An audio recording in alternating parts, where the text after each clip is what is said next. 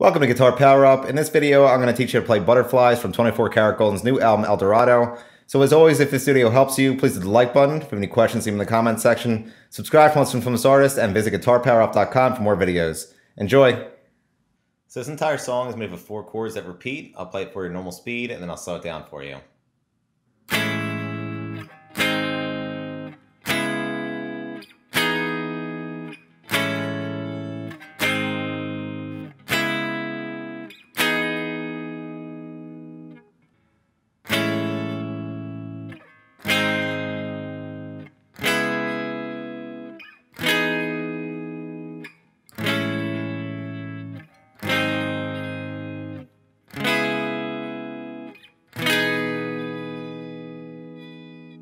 And that's it for butterflies. Uh, like I mentioned, if this video helped you, please hit the like button. If you have any questions, leave them in the comments section. Subscribe for more from this artist and visit guitarpowerup.com for more videos. Thanks.